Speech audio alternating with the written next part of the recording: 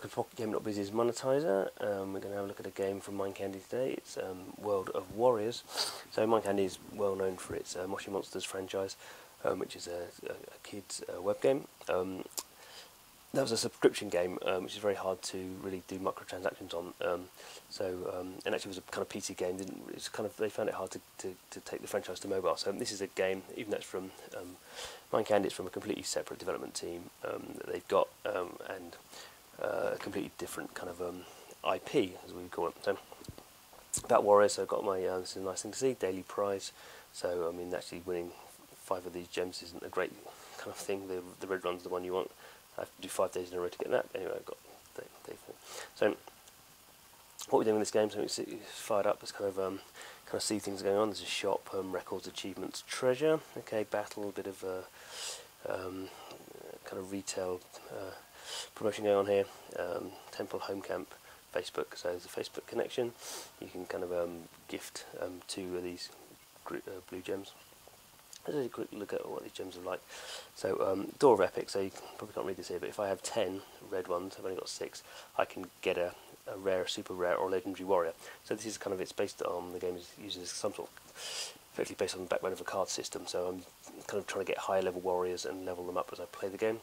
Um, I've got quite a lot of these blue ones, I've just used 5 to go through this door this door I, will kind of um, get to something, don't really know what it is. Like all card games, there's a lot of randomisation going there, so I've got a fire figurine, it's a material. So materials are used to create talismans. That is not particularly useful. Uh, go and get another, go and see what else we get. Sometimes you get kind of um, cards, you can win cards for this, but basically you're getting items, fairly low level things. But um, there we go, I've got a silver ingot, there we go.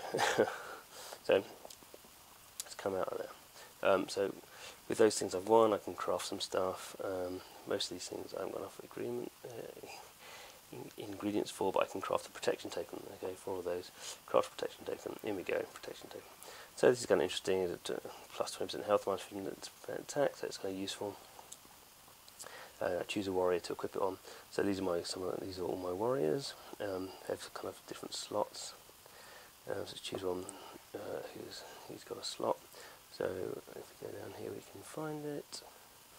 Okay, so let's drop it in there. It's got a little 10 byte. That means it has um, it's basically consumable. So after 10 byte, every time I use it, it will, that number will drop down by one. So this kind of effectively this attribute will work for 10 battles. Okay, not enough um, to craft anything else. Let's come out again. Um, go to my home camp. Um, so why is that highlighted? Uh, I'm not sure about that. Okay. Um, so we've got some, um, we've said, uh, we've had a look at the blue and the red. We've got gold, so gold is a, um, used uh, kind of for training my warriors up and it's also used um, in, in battle, in to enter battles. Um, in a, it's also it's used, um, ma but mainly this is this energy kind of food thing, so energy system effectively. So if we go to battle, quickly look at the monetization, uh, the um, kind of, okay, this is, this is like a, this is the last battle in this kind of little sequence, so there's a little bit of story there. So you can see the cost of, of me doing this battle. Um, so let's come out of that for the time being. Um, really just looking at monetization here. So if I want to buy some more stuff, oh, there we go. So standard kind of packs. Um, so we've got the, the, gold here. We can buy buy that with the gems. I think they're called uh, wild stones. So this is fairly standard. So this is I get by two uh, for three dollars, up to 100, uh, 280 for hundred dollars. Um, kind of unit-wise, that's kind of low. Um, often for hundred dollars, you're often the rate is kind of one dollar for a hundred of the in-game currency. Obviously, for this one, I'm spending hundred dollars and I'm getting 280, so I'm only getting um, do the maths, 2.8 of these wild stones per dollar, which seems like just low. It doesn't really matter, obviously, they're, completely made up um, kind of currencies, but it seems like psychologically people want, if you're going to spend a dollar, it seems better to get 10 or 100, or 100 of these units than two or three. Um, we've got some of these packs, so these are um, potions that you use in battles, they can give you boost, and uh, mana um, similarly. Um, no, I don't want to buy those. Um, you kind of win win these in, the, in as you play as well. So there's some of these packs as well. Tokens we saw we made um, one of those before. We can just buy these straight off with the with our um, gold, um, stamina.